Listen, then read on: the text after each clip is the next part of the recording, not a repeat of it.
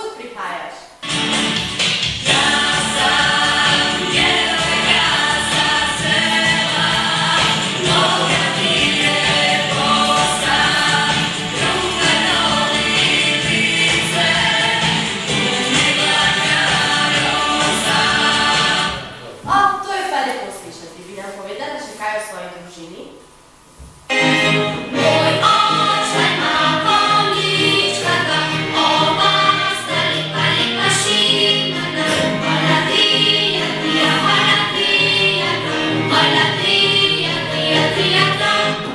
No, še enkrat dobrodošla pri nas. Kaj pa vi učenci? Bi se vi predstavili, kaj recimo delate med, ne vem,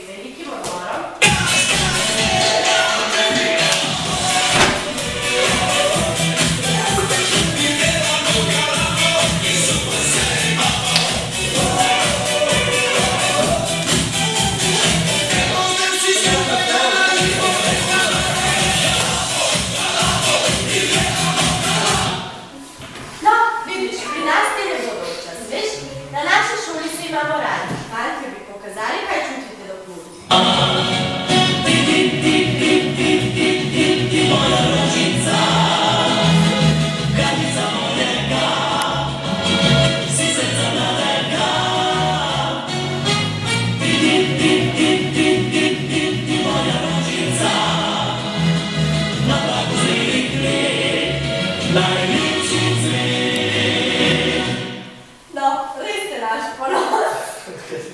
I kakva vi punca, kako ste odgovorili?